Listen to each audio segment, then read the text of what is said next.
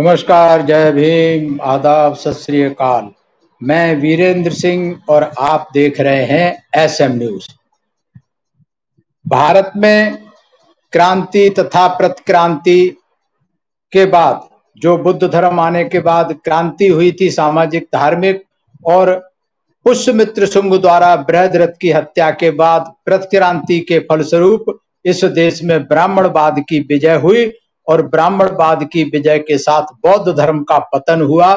ब्राह्मणवाद की विजय के साथ साथ में ब्राह्मणवाद ने इस देश की व्यवस्था में क्या क्या बदलाव किए, ये बहुत महत्वपूर्ण है। पीछे इस पर चर्चा की गई, वर्ण को जाति में कैसे बदला, जाति को बहिष्कार कैसे किया, किस तरीके से काले कानून बनाए गए महिलाओं के लिए, विधवाओं के लिए। आज हम बात करेंगे कि बाबा साहेब डॉक्टर अंबेडकर ने कहा है कि ब्राह्मणवाद ने जात प्रथा को जन्म देकर राष्ट्रीयता के विकास का भी बहुत ही गहरी क्षति पहुंचाई है। बाबा साहब डॉक्टर अंबेडकर कहते हैं कि किसी भी विश्व का प्रभाव, उसका प्रयोग करने वाले के मूल उद्देश्य तक सीमित नहीं रहता, यही जाति के मामले में भी हुआ। ब्राह्मणवाद ब्राह्मणों के विरुद्ध गैर ब्राह्मणों को पंग बना देना चाहता था। उसकी योजना उन्हें राष्ट्र के रूप में विदेशी शक्ति के विरुद्ध पंग बना देने की नहीं थी। लेकिन उनकी योजना, लेकिन उनकी जाति रूपी जो विष था, उसका परिणाम यह है कि उनमें ब्राह्मणवाद के ही नहीं, बल्कि विदेशी शक्तियों के विरुद्ध भी सिर उठाने की शक्ति नहीं रह गई।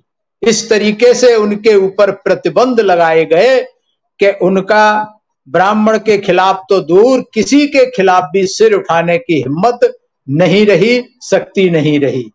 दूसरे शब्दों में अगर कहा जाए तो बाबा साहब कहते हैं कि ब्राह्मणवाद ने जात प्रथा को जन्म देकर राष्ट्रीयता के विकास को अवरुद्ध किया, बहुत भारी क्षति पहुंचाई।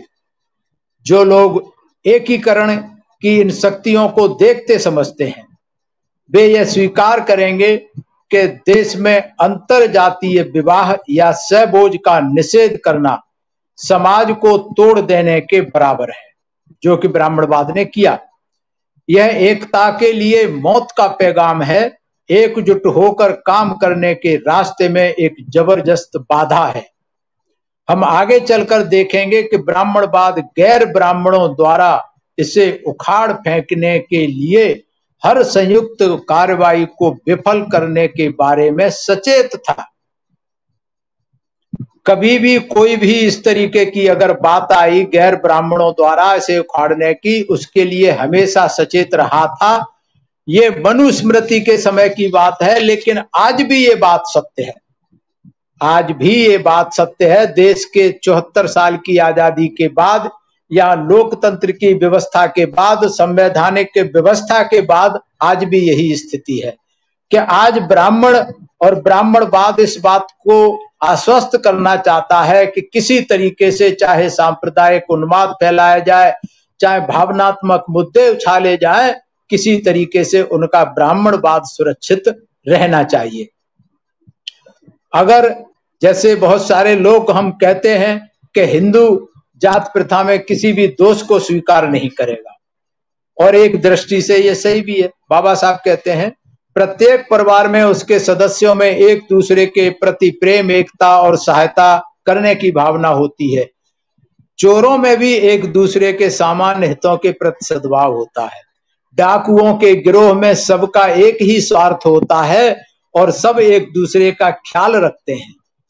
इनके ग्रोह चाहे एक दूसरे के विरोधी क्यों ना हो, तब भी इनमें परस्पर भाईचारे और अपने अपने लक्ष्य के पूत, प्रति पूर्ण समर्पण की भावना होती है और इसी से ये पहचाने जाते हैं। इसी प्रकार हम कह सकते हैं कि एक जाति में ये सभी गुण होते हैं जो किसी समाज में होने चाहिए। कौन से गुण? चोरों के गुण और डाकुओं के गिरोहों के गुण। ये बहुत महत्वपूर्ण और गहरी बात है जो बाबा साहब ने अपने अनुभव के आधार पर कही है। आगे बाबा साहब कहते हैं कि इसमें परस्पर प्रेम, एकता और एक दूसरे की सहायता करने की प्रबल भावना होती है जो किसी परिवार के गुण कहे जाते हैं। चोरों जैसी बंधुता की भावना इसे श्रेय प्राप्त है।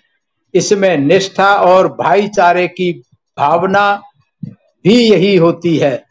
जो हमें भिन्न भिन्न गिरोहों में मिलती है और इसमें समान हित या स्वार्थ की भावना भी होती है जो डाकुओं में मिलती है।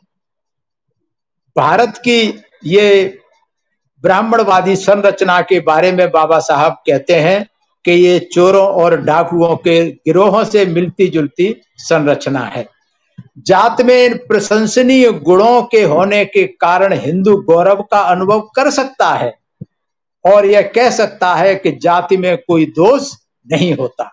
लेकिन वह यह भूल जाता है कि उसकी जाति के बारे में यह धारणा कि यह सामाजिक संगठन का एक आदर्श रूप है, जो इस अनुमान या कल्पना पर आधारित है कि प्रत्येक जाति अपने आप को स्वतंत्र समाज कह सकती है, यही उसका लक्ष्य है। जैसा कि किसी राष्ट्र के संबंध में होता है लेकिन जब हम हिंदू समाज और उसी के अनुरूप जात प्रथा पर विचार करते हैं, तब यह सिद्धांत अर्थहीन हो जाता है।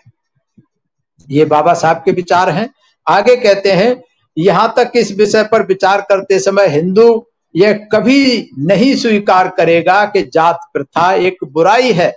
आज भी आज भी बड़े गर्व से कहते हैं कि जात प्रथा अच्छी बात है। तथा कथित राष्ट्रपिता गांधी भी इस बात को कहते थे कि भाई जात प्रथा, वर्ण व्यवस्था तो देश समाज के लिए बहुत आवश्यक है, ये एक आदर्श व्यवस्था है। आप हिंदुत्व को जात प्रथा के दोषों के लिए उत्तरदायी ठहराएँ, तब हिंदू क्या कह, क्या उठता है तुरंत? कह रहे, ये तो यूरोप में भी वर्ग प्रणाली है, वहाँ भी जात व्यवस्था है, बहुत सारे देशों में भी है। तो ये कहने की बात है कि फिर बाबा साहब याद दिलाते हैं कि अगर हिंदू यह कहें कि प्रत्येक समाज में ऐसे परिवार और वर्ग होते हैं जहाँ अलगाव संदेह और ईसावनी परिवारों और वर्गों की भात पाई जाती है, जहाँ डाकुओं के ग्रोह, गुटबाजी, संकीर्ण दलबंदी, ट्रेड यूनियन, कर्मचारी संगठन, कारतल, चैम्बर ऑफ़ कॉमर्स और राजनीतिक पार्टियाँ होती हैं तो किसी को क्या शिकायत हो सकती है? इनमें से कुछ स्वार्थ और लूटने के कारण आपस में संगठित होती हैं और बाकी ऐसी जो जनता की सेवा के करने को, उद्देश्य को लेकर उठ खड़ी होती हैं, लेकिन यह उसको अपना शिकार बनाने में कोई संकोच नहीं करती। कहने का मतलब है कि जो व्यवस्था, जो व्यक्ति या जो संगठन समाज के हित के लिए काम करने की सोचता है तो ये तथाकथित ब्राह्मणवादी व्यवस्था, जैसा बाबा साहब ने उत्तर दिया, डाकुओं के ग्रोह, गुटबाजी संकीर्ण दलबंदी, और ये सारी एक हो जाते हैं इसके रोकने के लिए जो कि इस देश में बदस्तूर आज तक जारी है। लेकिन हिंदू अपनी जाति व्यवस्था और गैर हिंदू वर्ग प्रणाली के बीच इस समानता को अपनी ढाल बना नहीं सकता और उसके पीछे दुबक कर बैठा नहीं रह सकता, जैसे इस विषय पर कुछ करने के लिए है ही नहीं। क्योंकि कहते हैं कि दूसरे देशों में भी ये गोरे काले की है, ऐसी है, वैसी है तो हिंदू इसको ढाल नहीं बना सकता। सच तो यह है कि इससे भी बड़ा प्रश्न यह है कि उसको उत्तर देना है उसे इस तथ्य पर विचार करना चाहिए कि हालाँकि समाज में वर्ग होते हैं, कुछ ऐसे समाज हैं जिनमें वर्ग असामाजिक होते हैं और कुछ ऐसे समाज भी हैं जिनमें वर्ग समाज विरोधी होते हैं। वर्ग प्रणाली वाले समाज और जाति प्रणाली वाले समाज में अंतर सिर्फ़ इस बात में है कि वर्ग प्रणाली सिर्फ़ गैर सामाजिक होती है, लेकिन जात प्रणाली तो निश्चित रूप से समाज विरोधी होती है। तो ये बहुत स्पष्ट रूप में बाबा साहब ने इस बात को बताने की कोशिश की है कि किस तरीके से भारत को राष्ट्र बनने में जात प्रथा आड़े आई। आगे बाबा साहब कहते हैं, दल या गुट की अपनी पृथकता और एकांतता के कारण समाज विरोधी भावना व्याप्त हो जाती है और जहाँ भी किसी वर्ग या का स्वार्थ अपने तक सीमित होता है, वहाँ ऐसी ही भावना पाई जाती है। इसका पूर्ण संपर्क दूसरे वर्गों के साथ नहीं रहता और दल या गुट की अपनी प्रथा, अपनी पृथकता और एकांतता के कारण समाज विरोधी भावना व्याप्त हो जाती है। और जहाँ भी किसी का स्वार्थ अपने तक सीमित होता है, वहाँ ऐसी ही भावना पाई जाती है।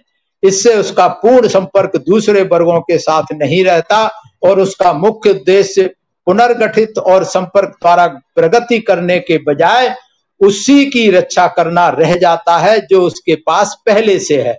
यह भावना राष्ट्रों को एक दूसरे से अलग कर देती है। कि ये जो भावना है कि हमें अपना ही स्वार्थ देखना है, यहाँ राष्ट्र की भावना गौड़ हो जाती है, पीछे रह जाती है, और बाबा साहब आगे कहते हैं कि समुदाय पे उनका घर और समुदाय में कोई संबंध नहीं रहता। ऐसे लोगों के अमीर और गरीब, शिक्षित और अशिक्षित में भेद बढ़ जाता है। मुख्य बात यह है कि पृथकता से जीवन संकीर्ण और अनौपचारिक मात्र रह जाता है।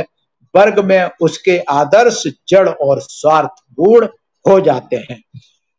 इसलिए बाबा साहब ने कहा है कि प्रश्न यह है, क्या समाज में वर्ग या समाज संपूर्ण इकाई होता है? प्रश्न यह है कि विभिन्न वर्गों में परस्पर सहचर्य सहयोगात्मक संपर्क और संबंध किस मात्रा में, किस हद तक रहता है? उनके ऐसे कौन से उद्देश्य हैं जिनसे वे प्रत्यक्ष रूप से एक दूसरे के सहभागी रहते हैं? अन्यथा संस्थाओं के साथ संबंध रखने में वे कितने मुक्त हैं?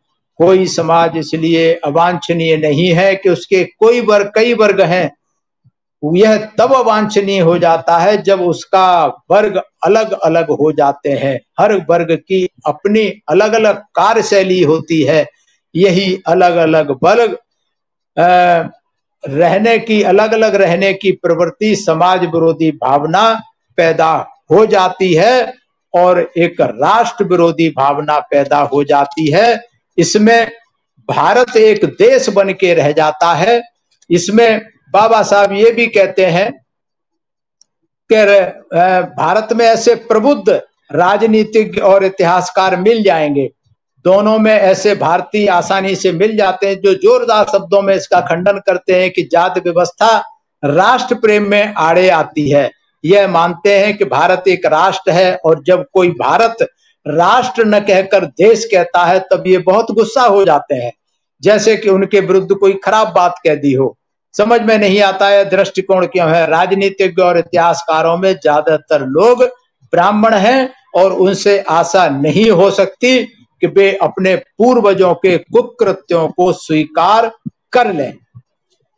ये जो चीज़ है, ये राष्ट्र के खिलाफ हो जाती है और ये कहते हैं कि भारत एक देश तो हो सकता है, लेकिन भारत राष्ट्र नहीं है। इनसे कारण पूछिए, कहेंगे भारत एक राष्ट्र है, क्योंकि भारत एक राष्ट्र है क्योंकि भारत एक भौगोलिक इकाई है और यहाँ संस्कृत के मूलभूत एकता है, ये कहते हैं। यह तो तर्क के लिए स्वीकार किया जा सकता है, फिर भी सच बात तो यह है, इससे निष्कर्ष निकलता है कि भारत एक राष्ट्र है, भ्रांति को पाले रखना है। राष्ट्र क्या है? राष्ट्र उस अर्थ में कोई देश नहीं होता, जिसकी भौगोलिक सीमाएँ होती हैं। चाहे ये कितनी दूर तक क्यों ना फैली हो। राष्ट्र जनसंख्या नहीं होती जो एक धर्म के कारण होती है। इसके बारे में राष्ट्रीयता, व्यस्तनिष्ठ, मनोवैज्ञानिक अनुभूति है। यह अनुभूति जिसमें होती है, वे सब यह अनुभव करते हैं कि एक दूसरे के सगे संबंधी हैं। राष्ट्रीयता की भावना तुधारू तलवार की तरह होती है। यह अपने संबंधियों के प्रति मैत्री भाव और जो लोग संबंधी नहीं है, उनके प्रति अमैत्री भाव जागृत करती है। और अगर हम भारत के परिपेक्ष में देखें तो ये कहना कि राष्ट्रीयता मुख्यतः भूगोल संस्कृति का विषय नहीं है। यहाँ सामाजिक और सांस्कृतिक कारण है, जिनके कारण से ये जो भावना है राष्ट्रीयता की एक दूसरे के सगे संबंधी होने की, वो बिल्कुल नहीं है। एक दूसरे के जाति और धर्म के नाम पे एक दूसरे के दुश्मन बने हुए हैं, एक दूसरे को नीच दिखाने की कोशिश करते रहते हैं। इसीलिए भारत केवल एक देश है, भारत राष्ट्र अभी तक नहीं बन पाया है, और जब तक ये जाति व्यवस्था भारत में लागू रहेगी, भारत कभी राष्ट्र नहीं बन सकता, सिर्फ़ एक देश है और देश रहेगा। ये निष्कर्ष बाबा साहब ने निकाला है। क्रांति तथा प्रतिक्रांति खंड सात में आप देखेंगे। बाबा साहब की क्रांति तथा प्रतिक्रांति, जो साथी विस्तार से जानना चाहते हैं, इस पुस्तक को अवश्य पढ़ें। आज बस इतना ही। अगर आपको ये सीरीज़ पसंद आ रही है तो आप एस एम न्यूज़ की प्ले लिस्ट में जाकर इसके पीछे के एपिसोड देख सकते हैं, क्रांति तथा क्रांति के नाम से। और अगर आपको ये सीरीज़ पसंद आ रही है तो आप इसे ज़्यादा से ज़्यादा शेयर करें, लाइक करें और कमेंट्स के द्वारा आप अपनी प्रतिक्रिया हमें अवश्य भेजें। मैं सभी का आभार व्यक्त करता हूँ। सभी को जय भीम, नमो बुद्धाय, और सभी मेरा प्रणाम स्वीकार करें।